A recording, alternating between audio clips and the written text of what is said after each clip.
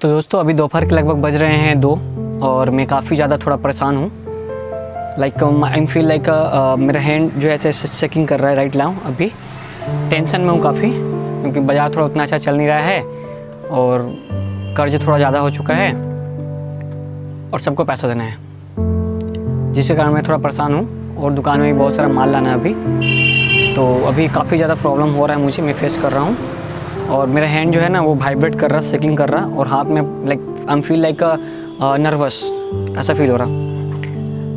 But कोई बात नहीं, मैं ये वीडियो इसलिए अपलोड कर रहा हूँ कि जब मेरा अच्छा दिन आएगा तो मैं इसे देख कर बोल पाऊँगा कि हाँ मैंने उस जगह से निकल कर अच्छे जगह पर आया हूँ। यानी कि वो जो समय था, आखिर मैंने वो भी काटा है। इसलिए मैं इस वीडियो को रिकॉर्डिंग कर रहा हूँ और आप लोगों के साथ शेयर कर रहा हूँ कि बाद में जब मेरा अच्छा दिन आएगा तो मैं इसे देख कर बोल पाऊँगा कि हाँ मैं उस जगह से निकल कर इस जगह पर आया हूँ। अब मुझे पता है, मैंने आज नहीं तो कल इस जगह से निकलूँगा।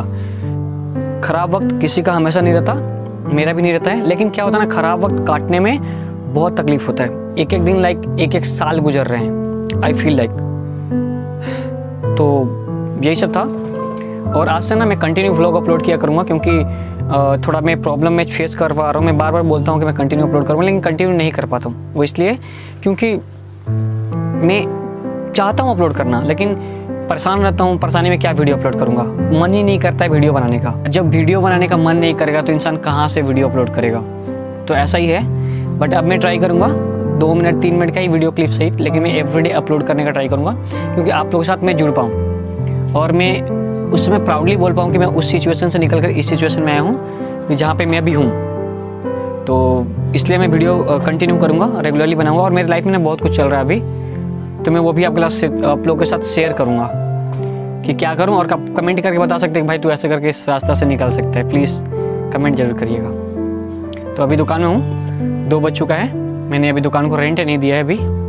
और मालिक भी लाइक एक दो बात मुझे बोल ही रहा था। मैंने सुना है, शाम को फिर से उसे फेस करना पड़ेगा। क्योंकि मैं दो दिनों से ना दुकान नहीं आ रहा था, इसलिए क्योंकि वो कुछ ना कुछ मुझे बोल देगा। इसलिए मैं दुकान नहीं आ रहा था। डाउनफॉल तगड़ा वाला चल रहा है ज़िंदगी में। चारों तरफ़ से घिरा पड़ा हूँ, कोई रास्ता नहीं दिखाई दे रहा। तगड़ा वाला डाउनफॉल लग कर रखा अभी। बट एक होप है, एक ना एक दिन ये डाउनफॉल ख़त्म होगा। दिन छटते हैं, यानी कि रात छटते हैं और दिन आती है। तो मेरा भी कभी ना कभी दिन तो आएगा।